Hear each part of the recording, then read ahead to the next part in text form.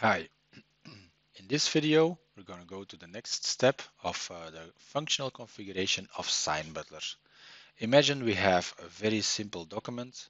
Uh, this can be your own uh, layout, your own template, of course. But the most important item here is we have a signature part. This is where we want our customer to sign our document, our proposal, our agreement, our contract, whatever. This is where we want him to sign. Okay, so let's first do some configuration, some setup, and then we go to the next steps. First of all, I want to see that our data source now actually gets our uh, gets our signer. And for these signers, we have actually created some lookup fields on the uh, opportunity. So you guessed it already, we will start here from an opportunity and we will then have our uh, signer one. That's actually the signer that we want to have it signed. This is just a simple contact uh, that is created and the email of the signature or the signature request will go to yeah, my email address. So, okay, let's let's see how we can make sure this signer is going to be our signer from now on. Step one, we go to the data sources and we go to the uh, opportunity da uh, data source. And we have going we are going to add all of the signing fields uh, the, the the the first name the last name the email address mobile number whatever of our signer. So let's go for signer one. So that's the signer of our uh, uh, the signer contact I'm going to add the uh, ID field here already. So that's just add field. And then I'm going to follow the relationship. Now I'm at the level of the contact. So I can just say I want the, uh, let's go for name. I want the first name. I want the last name. Then I also need the email address.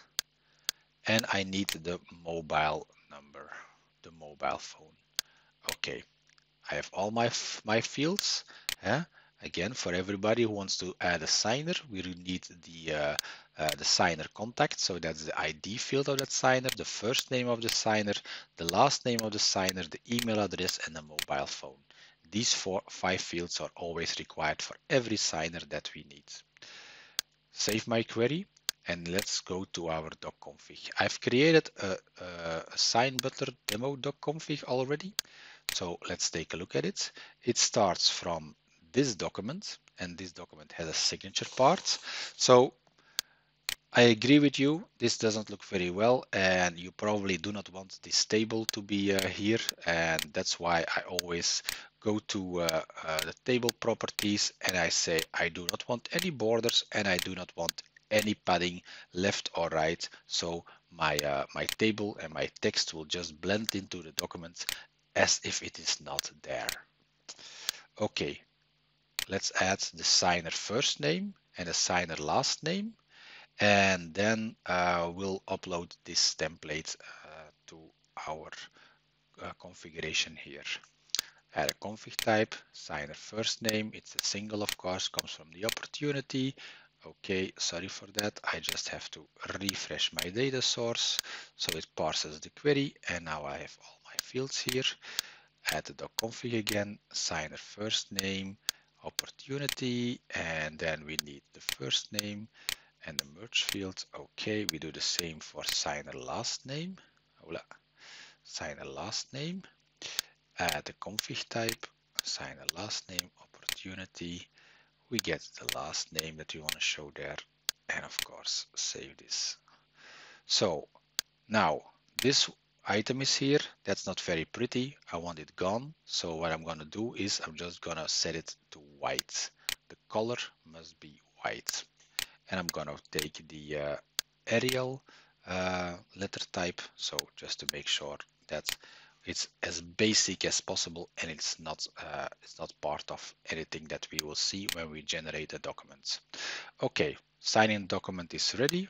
I will just uh, get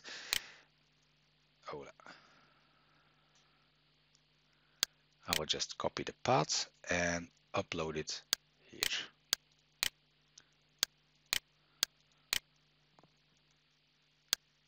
Oh, upload it here, of course. Okay, save the server.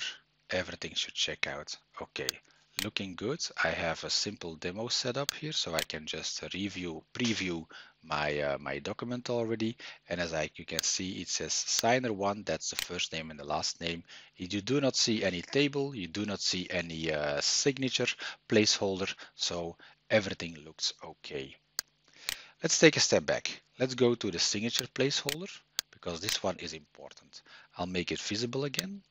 And you will see here that it starts with hashtag SIG01. That's important for the, uh, for the placeholder. So the hashtag SIG01 will identify this as being the first signature to be placed.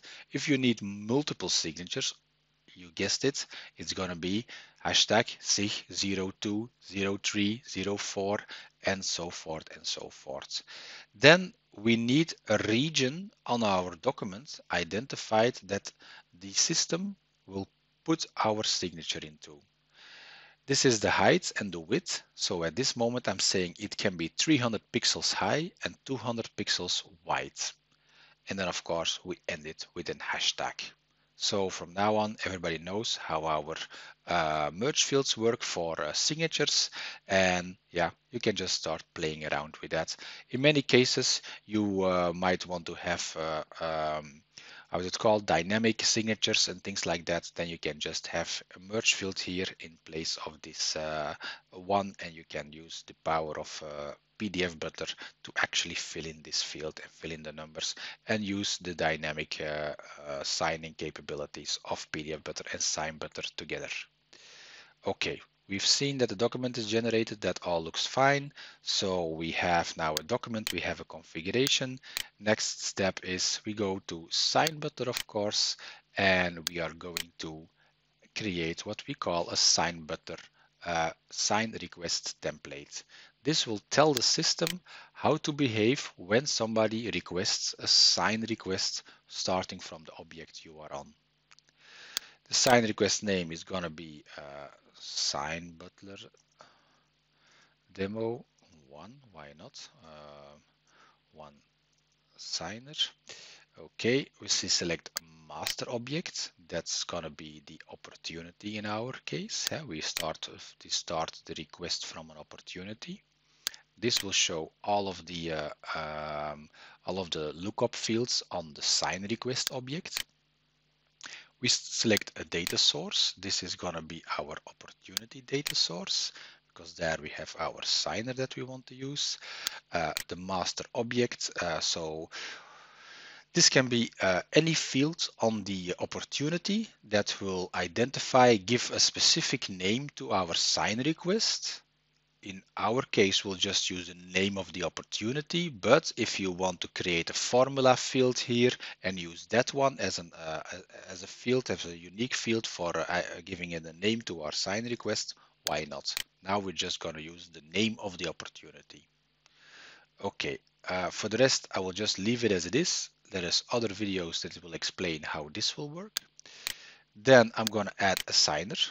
Order is one. It's of type signer. He can only sign manually, for instance, and via, uh, let's say manually and via mail. If you just want to have mail there, you want to have SMS there. So there are multiple signing methods, and this allows that the user, the uh, that will actually have to sign it, can select how he how he or she would rather sign it. Uh, let's go for manual and mail, so we can select manual and mail we can select our data source and from the data source we have first of all we have the ID of our signer contact that we need. We have the first name we have the last name we have the email address so we have the phone number uh, and then we can optionally optionally set the language of our user in a multi-language environment, you would probably have a lookup field that or a formula field that will identify the language of your user, or you maybe have a drop-down box, or a, um, a pick list, or anything like that. In this case, we'll just go for English. Not mapped, so no field will map it it will be always a mail in English. We just click the add button here. We see now that we have one stakeholder, one person with role signer, so he or she has to sign our document. Next, uh, when the document is signed, we want to attach it as a file to our opportunity. If you can do file override, add version, so it's the same options as in PDF Butler. Uh, and if you're still using attachments, that's also perfectly fine. You can just use attachments as well. For now, we go for file. We submit, and as you can see now, we have our first sign request template. This is an important step because we need a sign request template from uh, PDF Butler. Okay, so let's uh, maybe go.